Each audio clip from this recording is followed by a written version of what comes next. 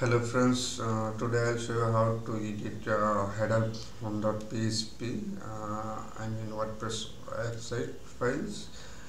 Uh, you want to edit from cpanel so first of all you need to log in on the cpanel then go to the file section and click on the file manager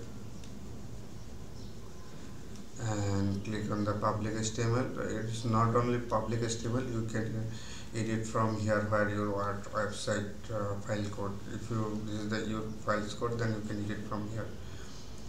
Um, my WordPress website code mm, on the public HTML because of this is the primary domain. Then go to the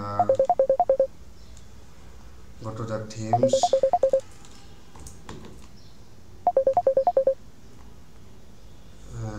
the themes and click on the themes folder and click on the theme.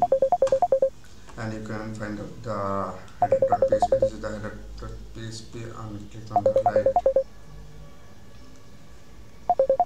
uh, right button and click on the edit.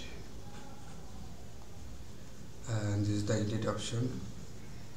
If you want to add any google verification code i mean meta code and uh, sometime facebook code then you can put here.